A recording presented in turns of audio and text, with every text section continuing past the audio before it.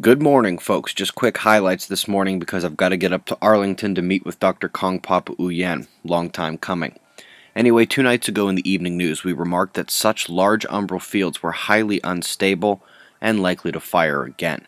They did that yesterday as an M4.3 class solar flare erupted in spectacular fashion, and the planetary based uptick comes through again.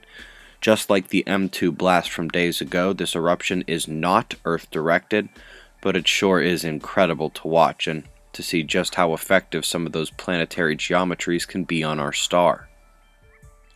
Now, while this eruption is not heading our way, the sunspots producing these eruptions are finally coming into view. They are still on the limb, but looking very menacing. The other top sun story is the coronal holes. The Earth facing opening is just moderately powerful in green, but the red indicates that the incoming opening is extremely powerful, and furthermore, it's coming in on the equator. So the northern opening faces us today, while that incoming dark transequatorial opening has the majority of the power. Two top stories. First, they have just discovered that a 2005 energy surge at Cassini was due to an electrostatic particle beam from Hyperion, which, for those new to the electrical connection theories, is a slow plasma discharge, a mini cosmic thunderbolt, if you will.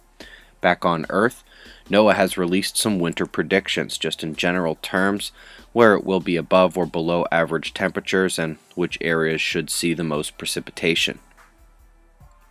Top quakes of the day were unusual location rumbles in the Caribbean, Cayman Islands, and way north in the Norwegian Sea just off the coastline. Tropics Watch shows Ana more and more likely to miss a mainland Hawaii landfall, should be heading a bit south.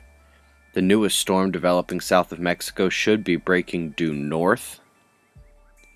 And Gonzalo in the Atlantic is now a major hurricane, pounding Bermuda and also heading north, possibly eastward thereafter. The moisture flow off Gonzalo gives us our top flood watch tonight. Could get ugly up here.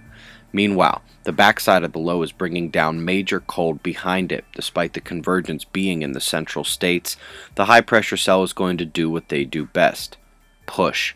The actual storm zones tonight should be west of the convergence in the desert and north of it where the cooler temperatures are really swinging in. Precipitable water overlay on for Australia and New Zealand. The dark blue is where the water is in the atmosphere, and those areas take our watch zones down under. The flows here will have rain across much of Europe, but Ireland is very close to the actual center of the cell, and the heat and moisture continue racing up from the Mediterranean. That's how you get our watch zones here. Got some shots of our star to close. Eyes open. No fear, it's 5:45 a.m. Eastern Time and that's the news. Be safe everyone.